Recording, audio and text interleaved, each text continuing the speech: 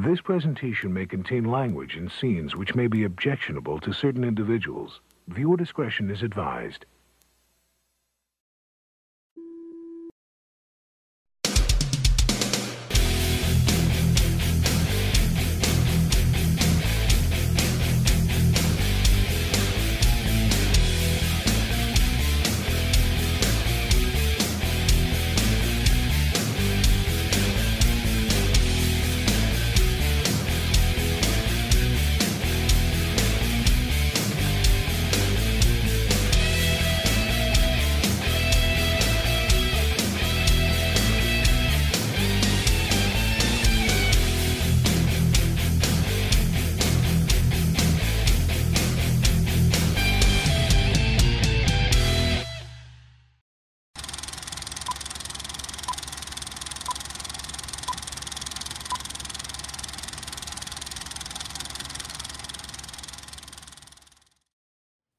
Underdogs! I'm still Macho Mike. This is still Macho Movies, and we're still in the summer of 90s nostalgia. Yeah, we're in September now, and summer may be winding down, but it's not over yet. And just because school's back in session, hey, I know kids who started school at the end of July this year. So today on Macho Movies, I'm reviewing a 90s movie about going to school. You know how that can be. You don't fit in with that one crowd, or you aren't good enough to be on that one team, or you aren't smart enough to pass that one class. Yeah, been there, done that. All of us underdogs have at one point. Some of us are still there.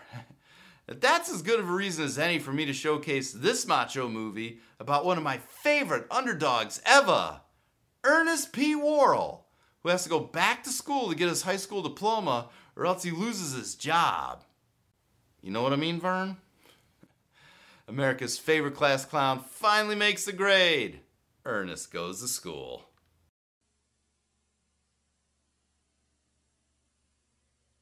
Ernest P. Worrell is about to face his worst nightmare. Right, class. Blackboard problem. Oh no. Not that. Anything but that. ah Not back to school.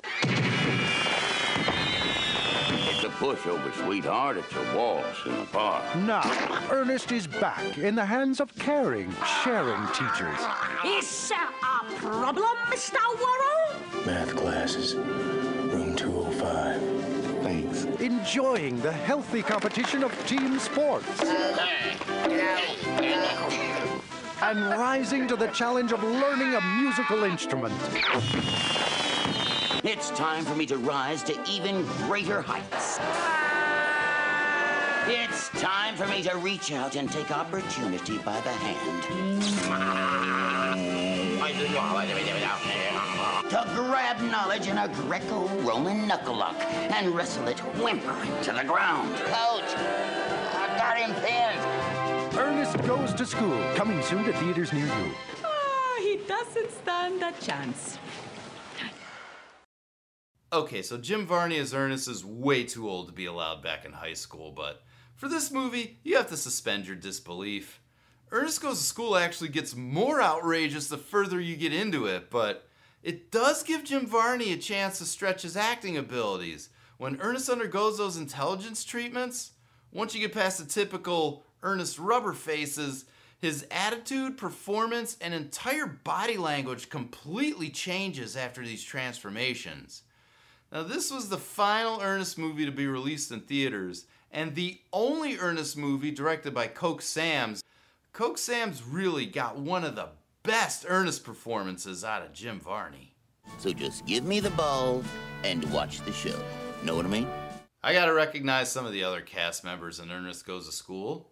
Of course, you have some Ernest movie regulars here, like Billy Byrge, who plays Bobby, the guy that barely talks in any of these movies, and the talented Linda Kash as Gerda. But there's some other cast members who went on to do some memorable things afterwards. First off, that's Will Sasso right there. Yeah, before Will Sasso was on Mad TV, he played the bully from the football team in Ernest Goes to School. And Jason Michas as Donald? He's become quite the voice actor, starring in such shows as Bucky O'Hare and Sabrina the Animated Series and Dragon Tales. Gabe Khouth plays Rodney. Not only did he go on to star in Northwood, but he also became an accomplished voice actor in his own right, starring in the Mobile Suit Gundam series, and he voiced Leonardo in Teenage Mutant Ninja Turtles The Next Mutation. But my favorite cast member in Ernest Goes to School is Sarah Chalke. She plays Maisie, and right after this movie, she went on to replace Lecy Goranson as Becky in Roseanne, and then after that, she played Elliot in Scrubs. Everyone has the potential for brilliance, my boy. Ernest Goes to School is like a movie version of Saved by the Bell, the new class, with Ernest in the Screech role. Except if Ernest tries to be as smart as Screech, he turns into a jerk and the kids resent him. And if he stays his lovable self, he won't be able to pass the test. Honestly, I can relate to Ernest here. Not being good enough in sports to make the varsity team is one thing, but I was also the kid who busted his ass studying and stayed after school for extra help every day and still failed the midterm. And this happened to me more than once over the years, but you can't give up. You just have to keep trying and maybe even change strategies until you make it. And that's the macho thing about Ernest, is that he never gives up and he always makes good on his mistakes. He rises like the underdog that he is. Now let's look at the macho meter for some other macho things in Ernest Goes to School. First off, very important, furthering your education. And then also important, never giving up. And of course, you have Jim Varney's rubber face and David Keith as Squint Westwood, the hallway cowboy.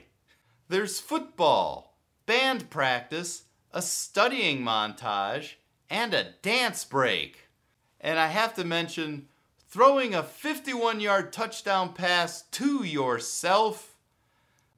There's a clothesline, a fire extinguisher to the head, exploding concession stand, improvising, turnbuckle biting, pipe bursting, pro wrestling, jujitsu, glue jutsu, plumbing jutsu, tongue jutsu, and a come from behind victory. Body count is zero.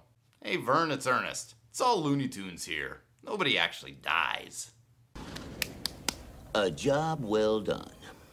Alright, underdogs, you know what time it is. It's time for me to plug my website like I do every video. The web address is http machomike.tv. You can find links to my social media there, including Facebook, YouTube, Instagram, X Twitter, and Twitch, so you can join me live on the Macho stream. You can also buy Macho merchandise there that I designed myself, and you can find all of my past videos there. See for yourself at my website, machomike.tv. Got a pretty high opinion of himself for a lab rat. Well, that's the bell. That means school's out. Thanks for being with me today, underdogs. You've been great. I've been Macho Mike, and I'll see you next time at machomike.tv on the next video. Till then, keep it macho.